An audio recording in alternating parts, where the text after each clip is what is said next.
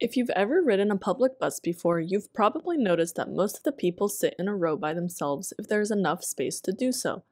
Eventually, all of the empty rows have one person sitting in them. As more people get on the bus, they have to sit next to someone because there aren't any more open rows available. Eventually, as more and more people get on the bus, all of the seats are taken and the bus is at capacity. The same thing happens with electrons. Well, sort of. Electrons are waves, but the same idea works. Like the people in the bus who initially sit in rows by themselves, electrons of the same subshell, ones with the same n and l, will have the same orientations in 3D space, so same m sub l, if it's possible.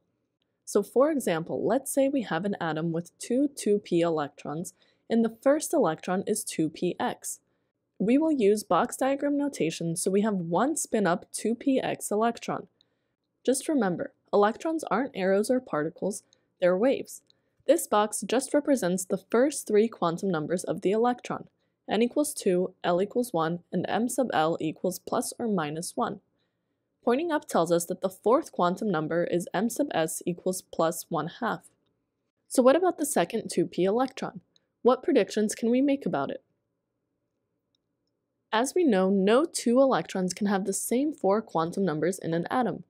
That means that the second electron cannot be another spin-up 2px electron, so that's not possible. The other two scenarios are both at least possible, but the correct answer is that it will be a 2py electron or a 2pz electron. But let's pick 2pz. Also, this second electron will also be spin up. This is Hund's rule. What if we were to have a third 2p electron? What would it be? The third electron would be 2py all three 2p electrons would be unpaired, and this is what leads to the lowest energy state.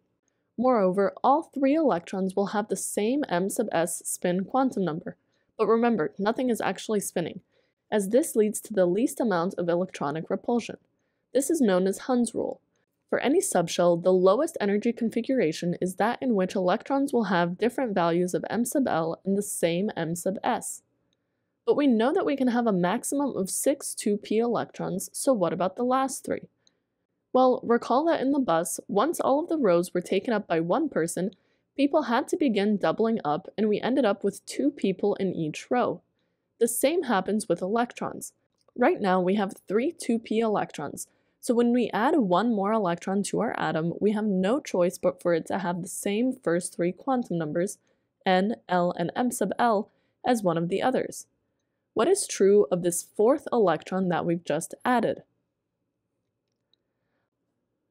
Let's say that our fourth electron is another 2py electron, but really it could have also been 2pz or 2px. When we add the next electron, it needs to have the opposite spin of the other electron that has the same n, l, and m sub l because every electron must have its own unique set of quantum numbers. So since the three electrons we already have are spin up, the fourth electron needs to be spin down. We can keep adding electrons until each electron has a pair. You may wonder, why pair up electrons at all? Why isn't the fourth electron 3s? That's right, remember, electrons will always be the lowest possible energy, and 2p is lower in energy than 3s. After all, you wouldn't choose to sit on the bus's roof instead of sitting in a row with someone else, would you?